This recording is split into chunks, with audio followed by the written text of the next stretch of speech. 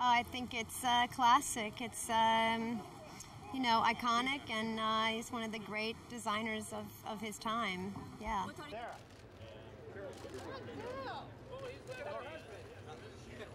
Ladies and gentlemen, we proudly welcome to the Hollywood Walk of Fame Matthew Broderick, right here.